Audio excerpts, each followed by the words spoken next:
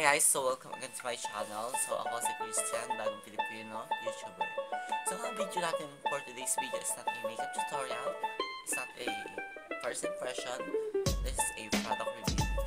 Product review ng this, this red product which is the Personal Collection Glow Whitening Face and Body Lotion.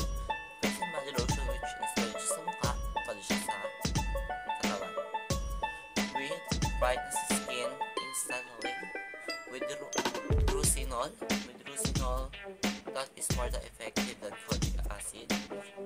Tapos nabili ko to for only 120 i-order nyo pa siya. Tapos sa akin yung 120 pesos is 100 100 ml the shade niya is parang ganito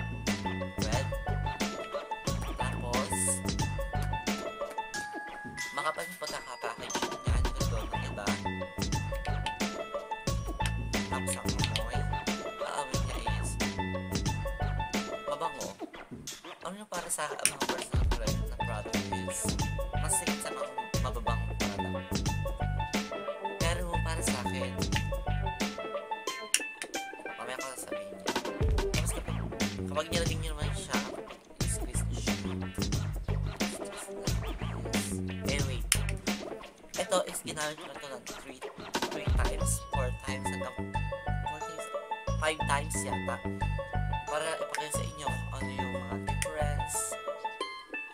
difference between between this the whitening house natural na lotion tapos kung ano yung sa kanya kung maganda ang mga sabi ko sa video is which is yung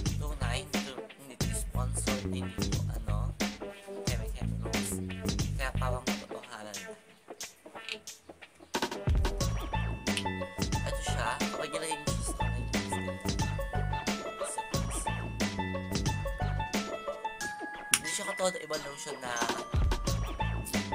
soft. Hindi siya soft. Tapos medyo siya matigas. Medyo matigas siya tapos parang siya maliit na sand-sand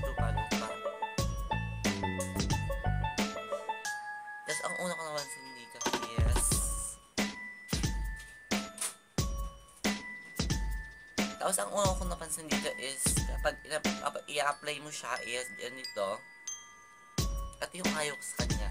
Kapag i-apply mo siya is just like this. Namumuo siya agad tapos kapag apply mo siya lang mabuti wait lang i-apply ko lang. Ganyan kapag in-apply mo siya is yung nakikita nyo siya sa camera nagmumukha siyang libag dumi ng katawan pero, pero hindi naman siya libag. Kasi ilang beses ko nasubukan kasi ayaw ko sa kanya. Parang siya na at isasabi ko sa inyo namumuo tapos parang siya libag talaga. Hindi ka para sa akin siya maganda gamitin kapag lalabas ka kaya gamitin mo ng product na to kapag kunwari kapag kunwari gabi na bababad mo siya. Tapos ako din ginagawa ko dito is nilalagay ko sa kako okay na mamalamig. Kaso para sa akin is hindi siya effective. Kasi talagyawat ako.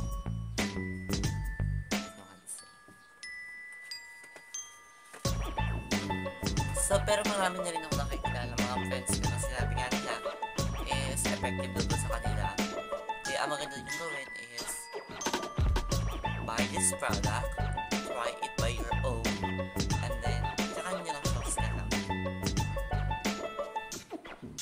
Iron Fit, this video is not a first impression. This video is just a product review na which is really yung mga sinasabi ko dito dati, dati is sponsored. So, ang sinasabi ko kanina, ito naman sinasabi ko kanina yung bibigyan natin kung ano yung difference niya sa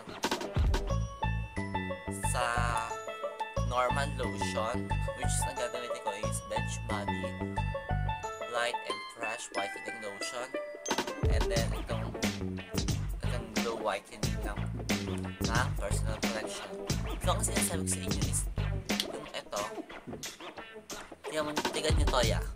Pag i-apply nyo siya is, soft. Soft siya. Ganyan. Soft siya gamitin. Yung normal na lotion lang,